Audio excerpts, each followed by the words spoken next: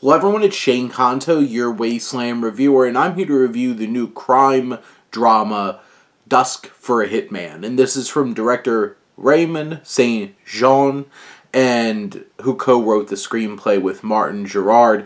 And this film focuses on the most feared hitman in Montreal in the late 1970s, Donald Lavoie, played by Eric Bruneau, and he's doing his dirty work and murking people left and right. And then his accomplices start coming for him, and things get complicated when the government wants him to be an informant.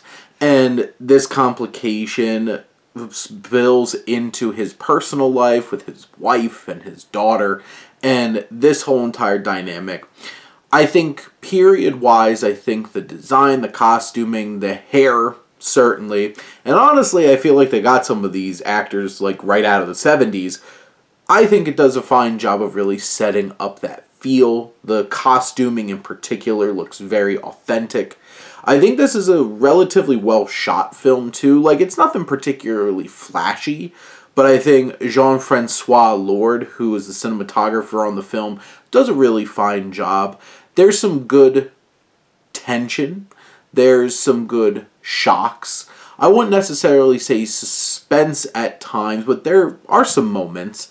It a lot of like shocking violence happens in this, and a lot of it's out of nowhere and at the hands of uh Lavoie because he's just like bam, and it's just like after a while you're just like, is he just walking alone with one other person?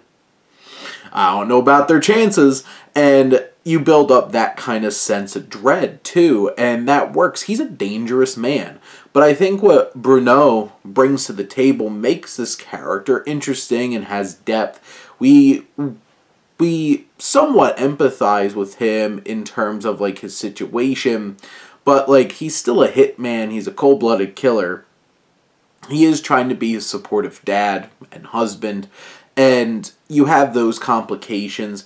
I think what's holding this film back a bit, besides, you know, some competent filmmaking, some good genre trappings and period trappings, is the fact that, like, this film narratively hits so many familiar beats. It's it's not particularly interesting or engaging in a fresh kind of way. It's competently constructed though it hits the beats. There's some good emotional moments. There's very there's a very much like a Miller's Crossing type moment as well between uh Lavoie and his brother. And you have those kinds of moments in the film that stand out. Uh, I think it's th- those kinds of moments and some of those shocking like kills that are really the things that stand out.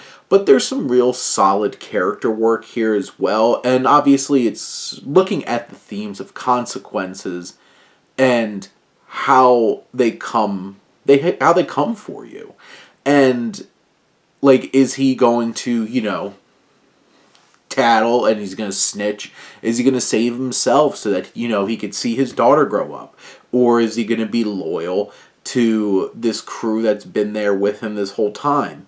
It's definitely one of those kinds of films that, sure, you've seen these beats before, you're not going to be particularly shocked where the film goes, but it's competently made, it's well structured, it's well shot, it's well acted. It has a lot of those elements that elevate it a little bit from just being your forgettable, yeah, by the numbers kind of crime drama. And in the end, I think this has at least a little bit there. It's Canadian setting, it's French speech, all coming together, creating a bit more of a unique experience that delivers on some level, and especially if you're a fan of the genre of like crime thrillers and dramas, this will definitely check a lot of those boxes. But those are my thoughts on Dusk for a Hitman. Let me know what you think and let's talk some movies.